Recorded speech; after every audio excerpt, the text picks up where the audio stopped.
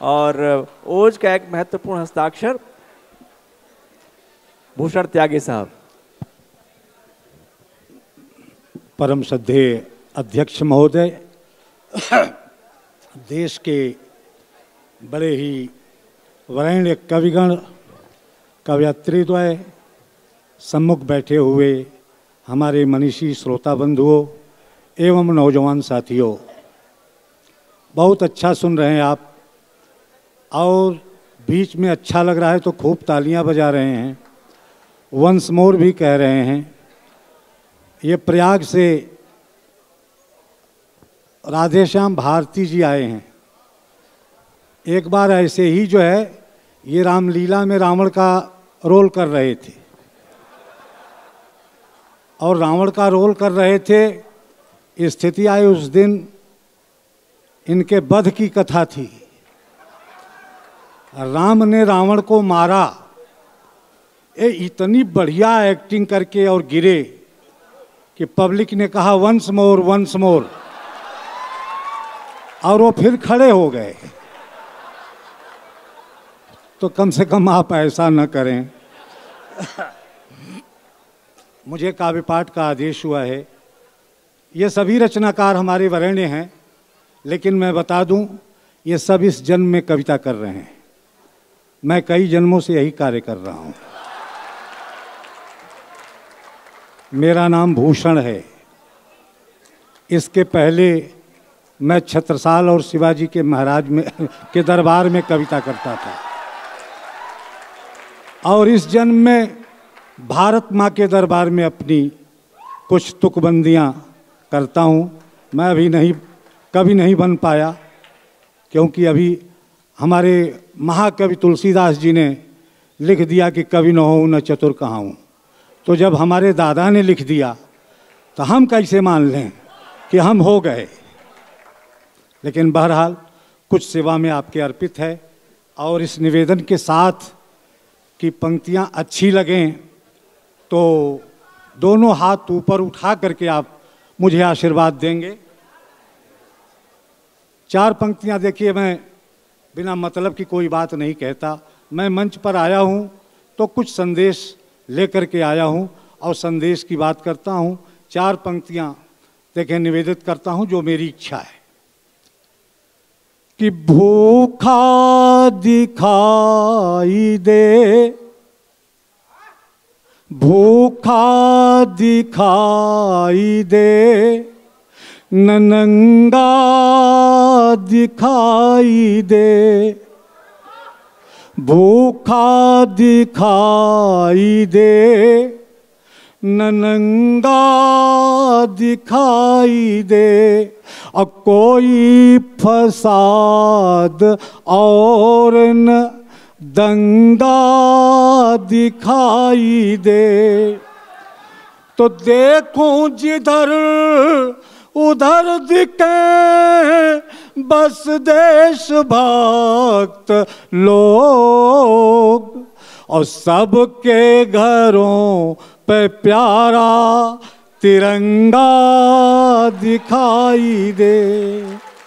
सबके घरों पे प्यारा तिरंगा दिखाई दे। और चार पंक्तियाँ देखें।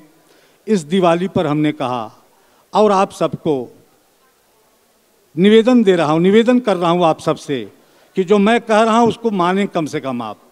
देखें कि एक मुहिम सक्षम भारत का चला सके। एक मुहिम सक्षम भारत का चला सके और जिससे भरतवंशियों का हो भला सके। जिससे भरत वंशियों का हो भला सके तो हँसते हँसते जो सरहद पर जूझ गए एक दीप उनकी खातिर भी जला सके। एक दीप उनकी खातिर भी जला सके।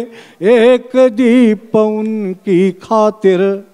और देखें, कुछ पंक्तियों के साथ मैं बढ़ता हूँ कि सीख लेना। मुझे पता है, मैं विश्वविद्यालय में कविता पढ़ रहा हूँ। कि सीख लेना सच की खातिर जहर पीना। कि सीख लेना सच की खातिर जहर पीना, मगर विष का कुछ हिसाब मत लिखना। सीख लेना सच की खातिर जहर पीना, मगर विष का कुछ हिसाब मत लिखना, और दर्द का पूरा हिसाब लिख देना, और रूठ कर कुछ बेहिसाब मत लिखना। रूठ कर कुछ बेहिसाब मत लिखना, और जहर पीने की कला सुकरात से तुम पूछ लेना। जहर पीने की कला सुकरात से तुम पूछ लेना, और स्वाद मीरा के पदों से जान जाओगे, और जब भी, जब कभी देखोगे गांधी को लहू से तरबतर तुम, सत्य की क्या शान है, पहचान जाओगे।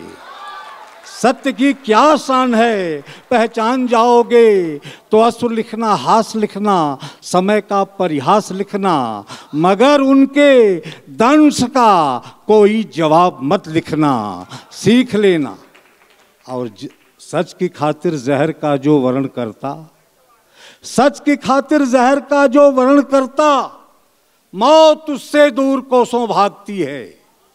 सच की खातिर जहर का जो वर्ण करता मौत उससे दूर कोसों भागती है, और मिथ्या के लिए जो जी रहा है, मृत्यु उसके शीश पर ही नाचती है। मृत्यु उसके शीश पर ही नाचती है। तो सत्य लिखना, गान लिखना, हर अधर मुस्कान लिखना, और भूल कर भी जहर पर कोई किताब मत लिखना। भूल कर भी जहर पर, और अंत में एक जनगीत आपको सुनाना चाहता हूँ। मैं जनगीतों का रचनाकार हूँ। देखें, एक जनगीत सुना रहा हूँ, पूरी धरती की रचना सुना रहा हूँ। सिर्फ़ हिंदुस्तान की नहीं। आप महसूस कीजिए, आप यूनिवर्सिटी के लोग हैं कि जब धरती बनी होगी तो सिर्फ़ धरती ही नहीं बनी। धरती के साथ प्रकाश आया, और प्रकाश ही अकेले नहीं आया, साथ में अंधेरा भी आया। और उसी समय से प्रकाश में और अंधेरे का युद्ध चल रहा है। पूरी धरती पर किसी न किसी रूप में प्रकाश का और अंधेरे का युद्ध चल रहा है। लेकिन मेरा अपना मानना है कि प्रकाश कभी पराजित नहीं हो सकता। सत्य कभी पराजित नहीं हो सकता। और तब प्रकाश ही अपनी बात कहता है कि मैं कौन हूँ, कहाँ हूँ, किन जगहों पर हूँ। और वो जब बोलेगा तो मैं का उच्चारण करेगा और जब तुम का उच्चारण करेगा, समझ लीजिएगा, पूरी धरती के लोगों के लिए कह रहा है। पंक्तियाँ निवेदित हैं, देखें आप थोड़ा सा अपने हाथ खोलें और मेरे साथ बहें। कि मैं जन जन में, मैं घर घर में मैं जन जन में, मैं घर घर में, मैं धरती पर, मैं अंबर में, मैं माता की हर सांस में हूँ, मैं पिता के हर उच्छ्वास में हूँ, मैं बहनों की हर आस में हूँ, मैं भाई के विश्वास में हूँ, मैं भाई के विश्वास में हूँ, मैं प्रेम जड़ित परिभाषा हूँ, मैं दुनिया की अभिलाषा हूँ। मैं प्रेम जड़ित परिभाषा हूँ। मैं दुनिया की अभिलाषा हूँ। मैं भ्रमरों में, मैं फूलों में, मैं कांटों में, मैं सूलों में, मैं बच्चों की किलकारी में, मैं फूलों की फुलवारी में, मैं सागर की हलचल में हूँ। मैं नदियों के कल कल में हूँ, मैं नदियों के कल कल में हूँ, मैं कलियों के हर रूप में हूँ, मैं सुबह सुबह की धूप में हूँ, मैं सुबह सुबह की धूप में हूँ। तो तुम यदि यारों के सौदागर तुम यदि यारों के सौदागर, मैं जग ज्योतित करने वाला। आलोक नहीं मरने वाला, आलोक नहीं मिटने वाला, आलोक नहीं मरने वाला, आलोक नहीं मिटने वाला। दूसरा चित्र देखें आप। कि मैं प्रेयसी के अनुराग में हूँ। कि मैं प्रेयसी के अनुराग में हूँ। मैं ऋषियों के तप त्याग में हूँ। मैं ऋषियों के तप त्याग में हूँ। मैं अवधपुरी में राम राम। मैं वृंदावन में श्याम श्याम। मैं महामुनि उपकारी हूँ। मैं महामुनि उपकारी हूँ। मैं चक्र सुदर्शन धारी हूँ। मैं चक्र सुदर्शन धारी हूँ। मैं अंशुमान के साथ रहा। मैं अंशुमान के साथ रहा, मैं हनुमान के माथ रहा, मैं हनुमान के माथ रहा, मैं सत्यनिष्ठ सन्यासी में, मैं वृंदावन में काशी में, मैं वृंदावन में काशी में, मैं वृंदावन में काशी में।